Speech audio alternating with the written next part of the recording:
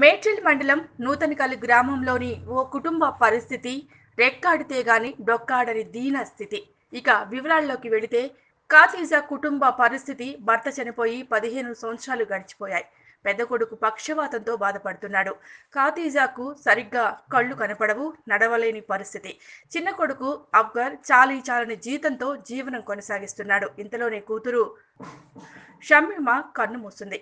అఫ్గర్ ఉద్యోగానికి వెళ్ళటం కష్టంగా మారింది. అన్నకు పక్షవాతం తల్లి నడవలేని పరిస్థితి అక్క చనిపోవటం మరి అక్బర్కు ముగ్గురు పిల్లలు కుటుంబ పోషణ భారంగా మారింది.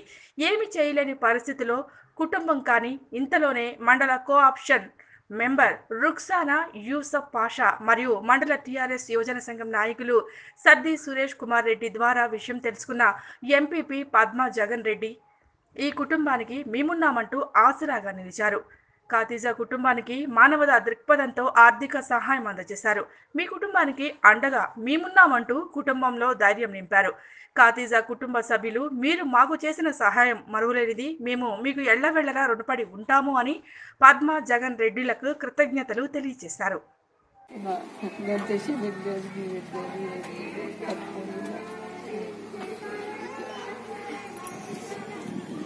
గడ్డేసి పెట్టేది కట్టుకుని సార్ చెప్పేసి పింఛన్ చేస్తా సార్ అటు అటు అడిగి ఆయన ఆయన లోపలికి లోపలికి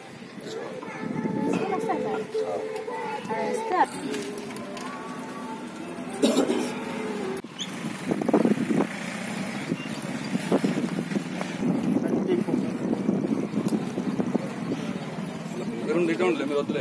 అప్పులు వేరే. मेरा बुढ़ा मन है मेरा बच्चा अकेला हुआ बच्चा ऐसा हुआ मैं क्या करूँ सौर होता बच्चे को ये उठा फेंक देना मैं क्या करूँ मैं आज ही करूँ क्या है कि मेरा जान अच्छा नहीं है मेरा जान ठीक नहीं है मैं क्या करूँ ఏం బాధపడకు పడకు ఏమైనా కావాలంటే చెప్పు ఏం బాధ बहुत काम कर लेकर भी बेटा नहीं ఎంపీపీ మేడ్చల్ పద్మజ జగన్ రెడ్డి గారి ఆధ్వర్యంలో నూతనకాల్ గ్రామ నివాసైన మైనార్టీ కుటుంబానికి ఆర్థిక చేయుతని ఇవ్వడానికి ఈనాడు ఆయన నూతనకాల్ గ్రామానికి ఇచ్చేసి బీద కుటుంబం నుంచి ఆమె చనిపోవడం జరిగింది. వారు లేనటువంటి పరిస్థితులు ఉన్నటువంటి కుటుంబాన్ని ఆదుకోవాలనే ఉద్దేశంతో ఈనాడు సొంత నిధుల తన నిధులతోటి వారికి ఆర్థిక చేయుతనిస్తూ మరియు వారి కుటుంబంలో వికలాంగులైన పెద్ద కొడుకు కూడా పింఛన్ చేయిస్తూ ఇలాంటి స్వచ్ఛంద కార్యక్రమాలు చేస్తున్నటువంటి గౌరవ ఎంపీపీ గారికి నూతనకల్ గ్రామం నుంచి ప్రత్యేకంగా వారికి హృదయపూర్వక ధన్యవాదాలు తెలియజేస్తూ ఆర్థిక సాయం చేయాలని పిలిస్తే పలుకుతాన్నట్టు మా మండలి ఎంపీపీ జగన్ జగన్ రెడ్డి గారు. వాళ్ళు ఆర్థిక సాయం మేము చెప్పిన నిన్ననే చెప్పినాం ఈరోజే రావడం మా ఊరికి చాలా అదృష్టంగా భావిస్తున్నాము.